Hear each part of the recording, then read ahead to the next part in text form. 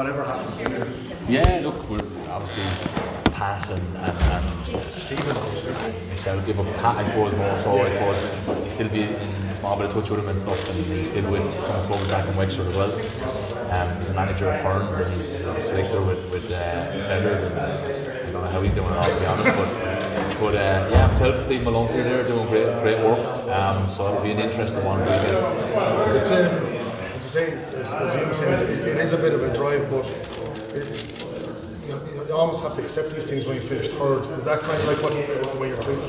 Yeah, well, like we're just grateful to be in the championship. Um, you know, we're getting another another chance at it as well, and um, we're coming down against an opposition, I suppose that you wouldn't regularly see much of, I suppose.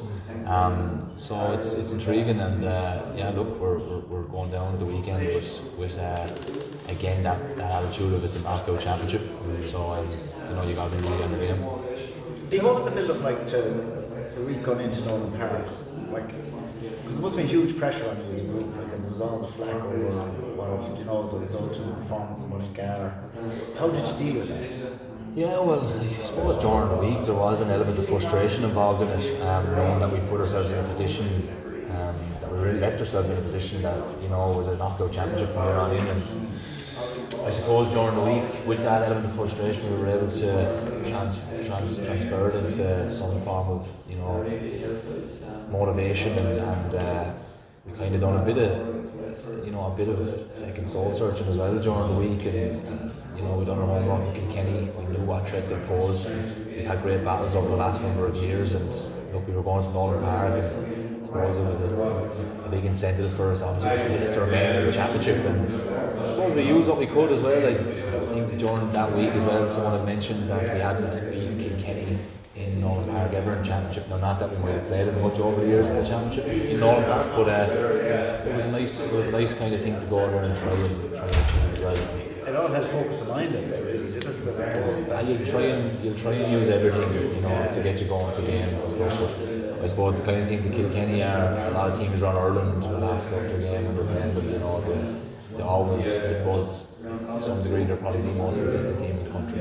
So they always want to bring that performance and work with it. And like the history of the championships is, we have lots of teams who end up as all Ireland champions.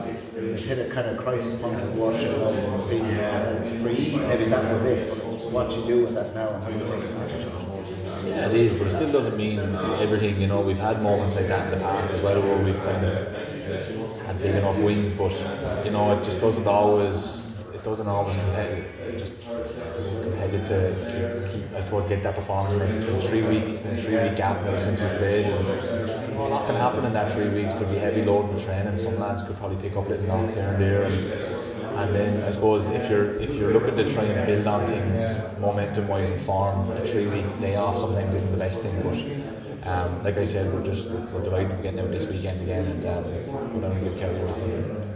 You really had to, you've had to mind yourself this year also because of the injury. How frustrating has it been? Because it's been a slow burn for you, hasn't it? Yeah, it has been very frustrating. I missed pretty much all the league. Got 20 minutes, I think, Wa- Waterford in the semi final, and um, it was a frustrating thing. But when, when you're seeing the work that Dara was doing and the players, and um, I suppose the league campaign that they did have, it, it does help you more, helps motivate yourself. But I suppose there is an element of seeing him getting on so well in the league that it was quite frustrating, at times as well. And you can, it's hard to see that date when you'll be back on the field and when can you get back to competitive training and stuff. And it's a long process, but I suppose being on the road for a while as well, not having many injuries, I've been lucky, but you can use it as a bit of a break, a bit of a mental break sometimes too, and it can help. And um, you know, I think it's benefited me to some degree this year. I'm just trying to take the positives out of it more than anything, but in my own head, I think there's been some benefits in it for me too.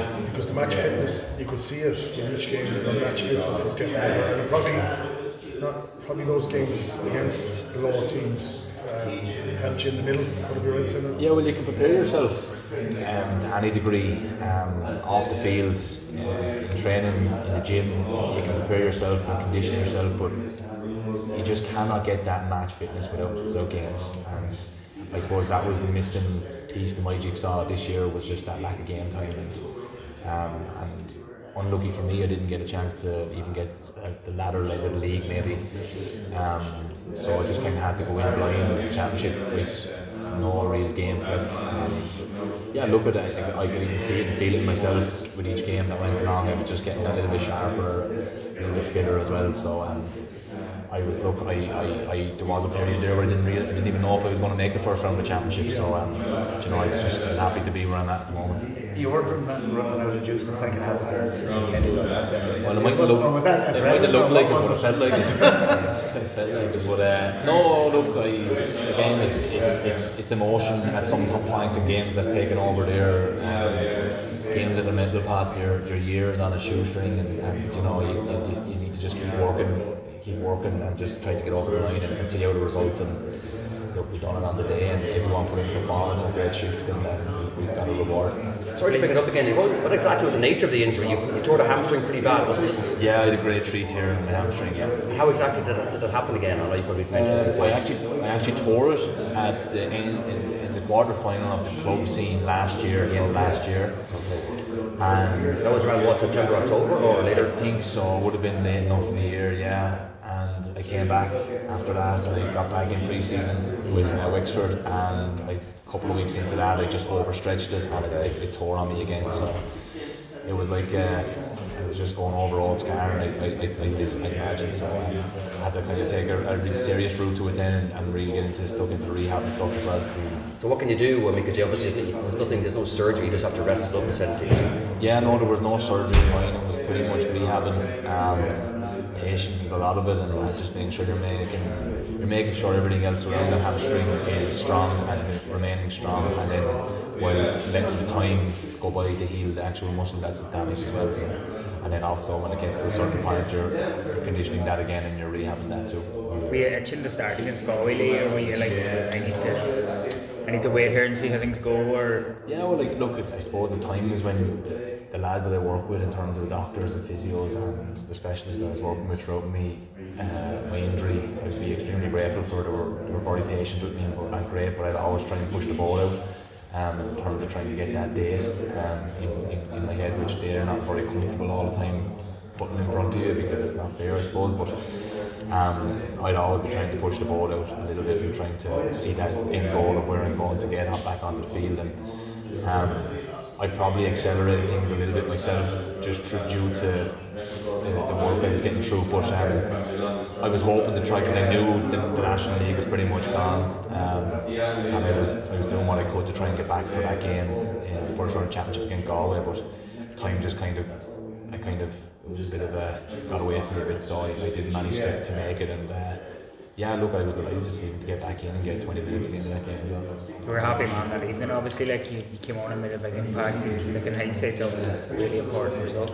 Look, selfishly, it was a nice moment, I suppose, in terms of just coming in and look,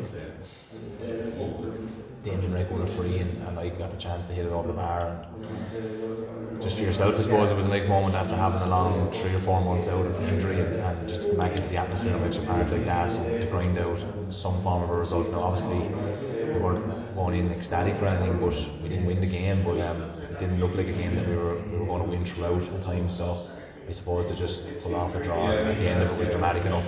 So we were, um, yeah, I was happy anyway. Could you potentially like dipped for a year or two post debut? Like like Dara's coming and got you through this, like you know the. You know, they the immediate impact massive, like you're still here.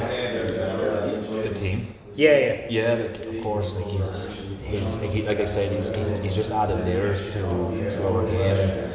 Um, and you know, Dara didn't want to come in and just reboot the whole system. It was just about adding certain things to the way we can, the way we want to perform, and and um, like look, I think he's done he's done a great job of it. Um, in training every night, like a lot of a lot of our our training would consist of that Tipperary style of, I suppose not Tipperary style, but the, the fact that a star, a Tipperary man, trying to add his stamp to what he values most, a lot of, you know, a lot of skill work and a lot of uh, ball, ball work and stuff. So um, it's, it's that's a very enjoyable way to be training, you know, as well. So um, look, at obviously there's been great foundations there from from Davy um, that we we loved playing for and we loved playing that system. Um, I suppose that Dara's just come in to try and add a different element to us. He, um, you mentioned there in the week up to the Kilkenny he was speaking very big. He says, "Listen, Wexford, if we win this game, we're going to be a dangerous animal." And he said, "We're nothing to fear. Obviously, we've beaten Kilkenny so many times you know, through the last few years." Do you sense he's trying to get that bit of not arrogance, but that tip confidence into you, like to talk big, to play big? You know, under Davey, you've always been playing things down, but maybe Darren wants you to express yourselves a little bit more or articulate yourselves.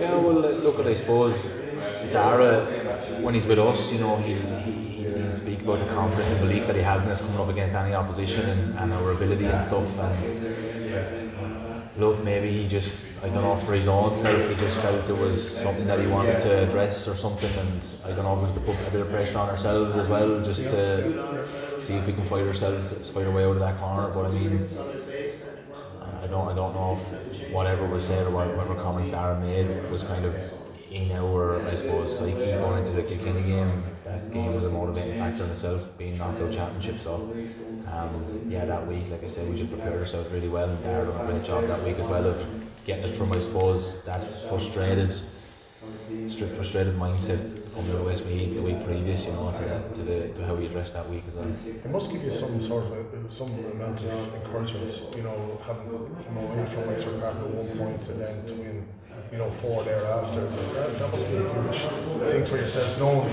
that you're not going to play in Wexford Park again. Yeah, well, I suppose that, that second game, is the second day out in Wexford Park, we, we, we, we knew that was our last day in Wexford Park this year. and it was again Dublin, and I suppose that was an extremely disappointing day. Being beaten by a point, you don't want to be beaten in your home place, you know. So, um, and we knew that we had put ourselves under some form of pressure there, but we, kind of knew that if we can still grind out results and get results, it's kind of still in our hands to make it to a Leinster final essentially. And um, but then when I suppose the Westmeath result came, it was a matter of adjusting and just the focus was now just remain the championship and go to the Park and get a result and. Um, yeah, the, the championship for ourselves has been a bit of a mixed bag, but we got four points away from home um, and only one point at home, which probably isn't the best isn't the best results, but ones you wouldn't be hoping for. But uh, it's also a good sign that you can go away from home and get results too. Yeah, absolutely. Can it help you going into the series? There's been so much talk about the Ulster Championship. They're, they're, they're you know, snapping at their heels. There hasn't been too much talk about Wexford at all, bar coming out, bar the performance you produced in. Yeah, yeah. Well, I don't see why there would be much talk about us. Like we've, we've, like I said, we've had a mixed bag championship, and we've, we've, I suppose we've got results where we were probably expected to, and didn't get results we were expected as well. So it's, it's, um, it has been really a mixed bag. But uh, yeah, we're happy enough there at the moment just to be, be working hard away by ourselves there and, and keeping the talk down anyway. Um, look, at we just we focus each day as it comes and Kerry is the next focus now, and um, we'll just get into the weekend and um, hopefully put in a performance down there. And please God, on to the next day. Can I ask you briefly what, what you're doing outside of hurling and how that impacted you during the rehab? Were you, ba- you based in Wexford or were you, were you travelling up and down? What's the, sorry, the, What were you doing outside of hurling at the moment? During? How did everything that I was doing outside of hurling was still hurling. Yeah. To be honest, probably wasn't in a group setting. It was more solo and individualised for me. Um, so it was a lot of just two day gym sessions. Um, you'd be rehabbing and you'd be doing other stuff as well to keep yourself in check. And then when you get back on your feet and you're able to do that bit of mobility and running and stuff, um, you can you can say there's there's some there was three times a week there was two day sessions and then the, the I suppose the alternative days then were gym sessions as well. So there was a lot of training involved just trying to get myself back on my feet. Um, yeah, and, and look, at a lot of this time that I had off the field with the lads was was consisted just focusing on how how can I get back on it. For more exclusive content, go to patreon.com forward slash our game.